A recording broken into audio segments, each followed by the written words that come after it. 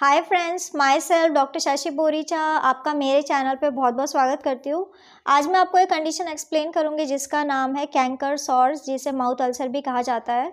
मैं आपको बताऊँगी कि इसका सिम्टम क्या है, इसके कॉज क्या है, और साथ ही साथ कुछ होम्योपैथिक मेडिसिन जो आप इस कंडीशन के लिए यूज़ कर सकते हैं।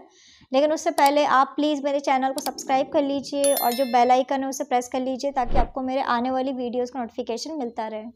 तो चलिए स्टार्ट करते हैं। सबसे पहले आखिर माउथ अल्सर्स क्या होते हैं? तो ये एक बहुत ही कॉमन कंडीशन है जिसमें पर्सन को माउथ के अंदर छाले होने लग जाते हैं। ये छाले उनको लिप्स में हो सकते हैं माउथ के अंदर हो सकते हैं। कई बार ये आपके गम्स में हो सकता है या फिर आपके अंदर चीक्स की तरफ़ भी हो सकते हैं। ये कोई कॉन्टेजियस कंडीशन नहीं है मतलब ये फैलने वाली बीमारी नहीं है। ऐसा नहीं है कि अगर आपको हो गया तो आपके साथ वाले लोगों को भी ये कंडीशन हो जाएगी। कैंकर सॉर्स बहुत सारे टाइप के होते हैं, जैसे कि ये माइनर हो सकते हैं, मेजर हो सकते हैं, या फिर कई बार ये हर्पेटिक टाइप के भी हो सकते हैं। अब मैं आपको इसके सिम्टम बता देती हूँ कि अगर किसी पर्सन को माउथ अल्सर हुआ है तो उसमें आपको क्या क्या सिम्टम्स दिखाई देंगे। तो फ़र्स्ट इंपॉर्टेंट सिम्टम यही है कि पर्सन को माउथ के अंदर छाले होने लग जाते हैं, जो वाइट या येलो कलर के हो सकते हैं सेंटर में, और इसका एक रेड कलर का बॉर्डर हो सकता है। इसमें पर्सन को टिंगलिंग या फिर बर्निंग सेंसेशन आ सकता है, और ये बार बार रीअपियर होने लग जाते हैं। जैसे एक बार अगर ये ठीक भी हो जाते हैं तो फिर ये दोबारा आपको हो सकते हैं कुछ दिन बाद। माइनर कैंकर सॉर्स छोटे होते हैं साइज़ में और वो हील हो जाते हैं, जिसमें आपको कोई स्कारिंग नहीं होती है। लेकिन अगर किसी पर्सन को कोई मेजर कैंकर सॉर हुआ है तो अल्सर्स होते हैं, बहुत ज़्यादा डीप होते हैं वो, इसके अलावा उनमें पेन भी बहुत ज़्यादा होता है। इस टाइप के अल्सर्स को ठीक होने में काफ़ी टाइम लगता है और कई बार ठीक होने के बाद ये कुछ स्कार छोड़ सकते हैं। अगर किसी पर्सन को हर्पेटिफॉर्म कैंकर सॉर्स हुआ है तो इसके होने का रीज़न है एक वायरस जिसे हर्पिस सिंप्लेक्स वायरस कहा जाता है। तो इस वायरस के कांटेक्ट में आने के बाद भी पर्सन को माउथ में अल्सर हो सकता है। अब मैं आपको इसका कॉज बता देती हूँ कि आखिर क्या रीज़न है किसी पर्सन को माउथ में अल्सर होने का? तो इसके कई सारे कॉज हो सकते हैं।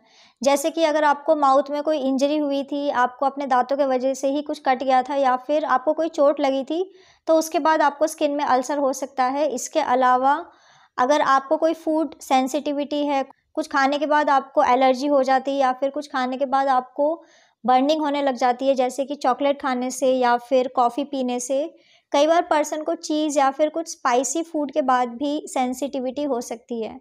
इसके अलावा अगर आपके खाने में विटामिन बी ट्वेल्व जिंक या फिर फॉलिक एसिड की कमी है, तब भी आपको अल्सर फॉर्म हो सकते हैं। कई बार पर्सन को एलर्जीज़ के वजह से भी होता है, कुछ माउथ में बैक्टीरियल इन्फेक्शन होते हैं, जिसके वजह से बॉडी रिएक्ट करती है तो उसके वजह से भी आपको अल्सर फॉर्म हो सकते हैं। कई बार पर्सन को पेप्टिक अल्सर्स के वजह से भी अल्सर फॉर्म हो सकता है माउथ में, इमोशनल स्ट्रेस या फिर हार्मोनल शिफ्ट के वजह से भी ये कंडीशन हो सकती है। इसके अलावा कई बार कुछ पेट की बीमारियों की वजह से भी पर्सन को ये कंडीशन होती है, जैसे कि अगर किसी पर्सन को आईबीएस हो चुका है या फिर किसी पर्सन को सीलियक डिज़ीज़ है तो ऐसे लोगों को भी माउथ में अल्सर बार बार हो सकता है।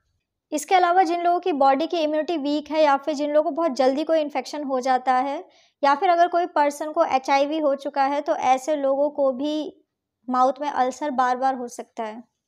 अब मैं आपको कुछ होम्योपैथिक मेडिसिन बता देती हूँ जो आप इस कंडीशन के लिए यूज़ कर सकते हैं। तो मेडिसिन जैसे कि आप मर्कसोल थर्टी मेडिसिन आप बोरेक्स थर्टी मेडिसिन या फिर आप नाइट्रिक एसिड थर्टी मेडिसिन का यूज़ कर सकते हैं। ये सारी की सारी मेडिसिन आपको फोर फोर ड्रॉप दिन में दो बार डायरेक्ट अपने टंग के ऊपर यूज़ करना होगा। सो so फ्रेंड्स ये था माउथ अल्सर मैंने आपको बताया कि ये क्या होता है और इसके क्या क्या सिम्टम्स होते हैं इसको होने का कॉज क्या है और साथ ही साथ कुछ होम्योपैथिक मेडिसिन जो आप इस कंडीशन के लिए यूज़ कर सकते हैं। तो अगर आप किसी भी कंडीशन के लिए मुझसे कंसल्ट करना चाहते हैं तो आप मुझे मेरे व्हाट्सअप नंबर पर मैसेज कर सकते हैं, मैं आपको रिप्लाई करूँगी।